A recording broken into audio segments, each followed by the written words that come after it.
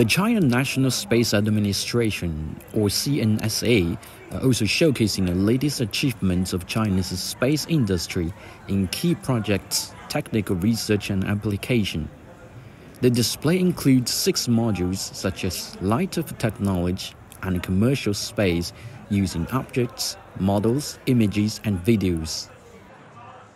The air show is a chance to go beyond the Earth's atmosphere and get up close and personnel with a collection of lunar samples which come from the far side of the moon and so far they've been a major highlight of the air show this year.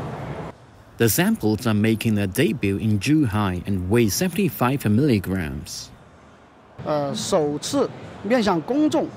It's our first time to display the lunar samples collected by our Chang'e 6 mission.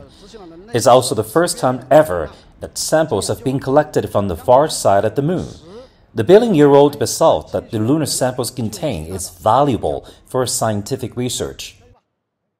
China's Chang'e 6 landed at the South Pole Aitken Basin on the far side of the moon on June 2nd this year to carry out a sample collection mission. It returned to the Earth with over 1,935 grams of samples from the far side of the moon on June 25th.